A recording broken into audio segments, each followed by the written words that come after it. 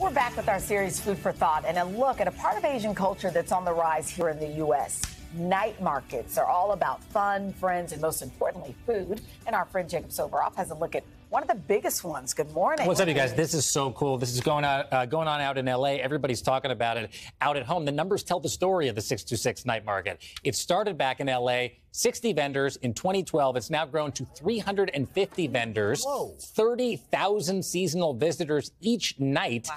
at its California venues. There are other cities too: New York, Chicago, Philly, Portland. They all host these celebrations of Asian food and culture. Take a look.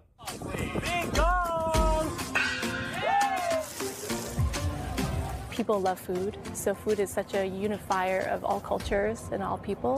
The 626 Night Market in Los Angeles is a melting pot of Asian dishes. We have our barbecue squid. Um, we make a pork belly bun, which is a Taiwanese street food. General Manager Patricia Wong says the 626 Night Market has been a runaway success since it started in 2012. In Asia, the night markets are a really big part of the nightlife. With family, with friends, you shop, eat, shop, eat. Welcome, enjoy. And now everyone wants to join the party. Every year it was just like, wow, we just hit 50,000 people. Wow, we just hit 60. We just hit 100,000 people. And so the growth is pretty organic. In Los Angeles, the event takes up an entire racetrack. Other markets in New York, Portland, Philadelphia, and Chicago also modeled their events after the famous night markets in Taiwan. I'm Taiwanese, so this is kind of like uh, very nostalgic for me. David Pan's Bobaful tent churns out hundreds of cups of boba tea each night. Many vendors, like artisan noodle chef Robert Lee, whose Bang Bang noodles often have the longest lines, make their living as full-time pop-ups. I started Bang Bang Noodles as a street food um, experience. So I need to bang it so it kind of gives me a better uh, texture noodle. I wanted to figure out some kind of food that would bring community together. Social media put the markets on the map and continues to be a huge driver of crowds. It's going to be my first time trying Wagyu beef, so I thought I'd post about it. Over time, we started to have more of Instagrammable foods, of creative foods, and that was uh, a trend that was happening. Social media can make or break a vendor when they first debut at the night market. Anthony and Larissa use garlic bread Number 60!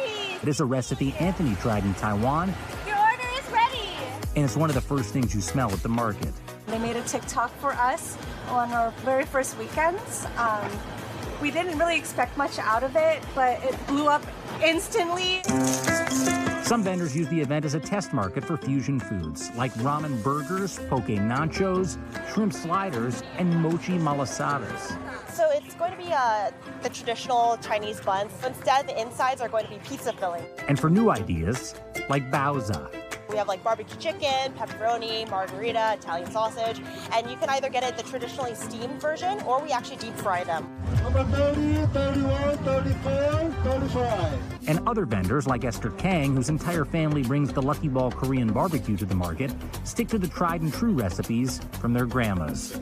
My grandmother was a big um, cook in Korea. Like she loved cooking for the whole neighborhood. All our items here are uh, homemade recipes. Patricia says the markets have become a post-pandemic staple of community and a buffer against recent upticks of anti-Asian crime and sentiment.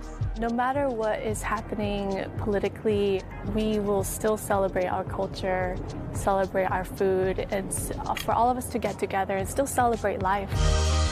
I don't know about you, but my mouth is watering. Bang bang noodles. Bang baby. bang noodles. Uh, most of the night markets are going to wrap up all of their events this fall, and the crowds they showed up last at the last 66 night market of the summer, despite, by the way, it was so Al knows, oh, yeah. Dylan knows the crippling heat. Oh. Uh, it's an amazing, amazing so place. Man, oh, I, would, I would love some samples. Uh, sorry, sorry. Next time, bring something bring back. Let's go to the New York one. exactly. Okay. We could hit that up. Jacob, thank you. Okay, you guys.